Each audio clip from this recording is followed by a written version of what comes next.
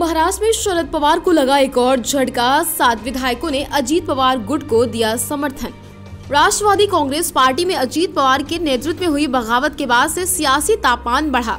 Deputy CM Ajit Pawar और party chief Sharad Pawar party पर अपना अपना दांव लगा रहे। इसी बीच पूर्व सीएम शरद पवार को बड़ा झटका लगा। खबरों के मुताबिक नागालैंड के प्रदेश अध्यक्ष वानतुंग ओडियो ने बताया कि राज्य के एनसीपी के सभी सात विधायकों ने महाराष्ट्र के डिप्टी सीएम अजित पवार के गुट का समर्थन देने का ऐलान किया।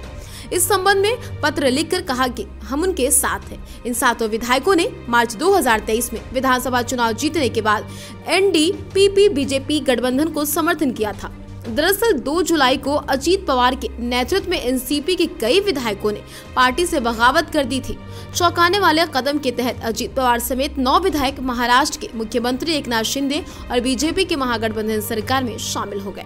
महाराष्ट्र सरकार में अजीत पवार को डिप्टी सीएम के साथ वित्त मंत्रालय की जिम्मेदारियाँ सौंपी गई इसके साथ सरकार में मंत्री के तौर पर शामिल होने वाले छगन भुजबल को अन्य नागरिक आपूर्ति दिलीप वलसे पाटिल को सहकारी मंत्री और हसन मुशरफ को वैद्यकीय शिक्षण विभाग की ज़िम्मेदारी दी गई। इसके अलावा धर्मराव बाबा अतराम को अन्न और औषधि प्रशासन अदिति तटकरे को महिला एवं बाल विकास, संजय बंसोड़े को खेल एवं युवा मंत्रालय विभाग सौंपा गया। साथ ही धनंजय मुंडे को कृषि मंत्रालय अदी अनिल पाटिल को मदद पुनर्वासन के साथ आपदा व्यवस्थापन विभाग की ज़िम्मेदारी सौंपी गई। पिछले कुछ दिनों में रकामपा प्रमुख के साथ अजीत पवार की दूसरी मुलाकात हुई है। बता दें उप मुख्यमंत्री और उनके खेमे के कुछ मंत्रियों ने वाई बी चौहान सेंटर में शरद पवार से मुलाकात की। अजीत पवार खेमे ने कहा कि वे मौजूदा स्थिति में शरद पवार का आशीर्वाद और मार्गदर्शन चाहते हैं।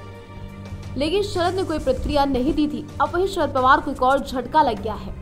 शरद पवार के सात विधायक भतीजे के साथ चले गए। अब क्या करेंगे? शरद पवार, बड़ा सवाल।